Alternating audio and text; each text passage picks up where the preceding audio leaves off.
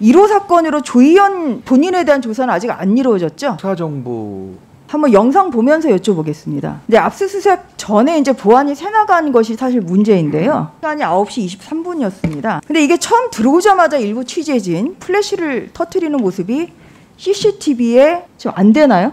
영상. 그래서 플레이가 다 됐습니다. 예, 그래서 이제 그거를 좀 보시고 순한 지금 실수라고 지금 말씀하시는 거예요? 아닙니다. 공무상 비밀을 누설하면서 압수수색한다 있을 수가 없는 일. 아 그래도 네. 뭐 이러한 그 압수수색 유출과 관련해서 내사 또는 뭐 필요하면 검찰의 수사 받을 용의 있으십니까? 필요하면 감찰하고 예, 검찰의 수사도 검찰하고 받을 용의 있으세요? 이순신 의원님 질의가 있어서 답변을 드렸는데요. 예, 사실은- 다시 그때 예. 답변한 거는 말씀 네네. 안 하셔도 되, 네네. 겠습니다 차량 한 대만 없어도 압수수색 갔냐고 기자들이 물어본다.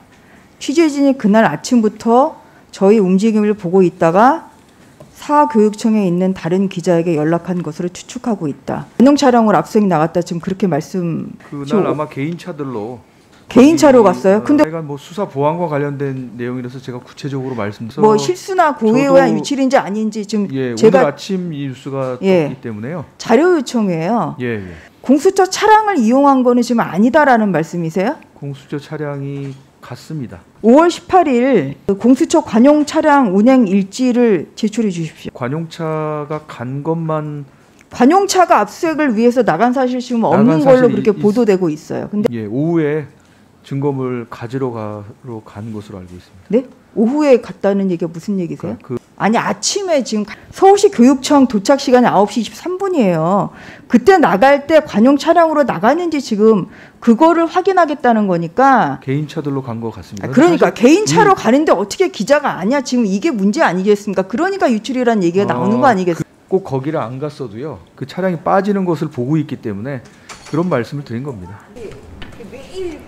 매일 그 기자들이 나와 있겠습니까? 그런 건 예, 매일 나와 있었습니다. 사실은요. 그래서 그 차량 일지는 제출 그날 그날 제출을 하겠습니다. 네. 열성 1호기 사건처럼 혹시 이 사건에서도 뭐 조직적인 뭐 사건 은폐나 그런 사실은 없었고요. 감사 과정에서 뭐 외부에서 어떤 압력이나 은폐 시도나 이런 그런 없었다. 감지한 바 예, 없습니다. 예.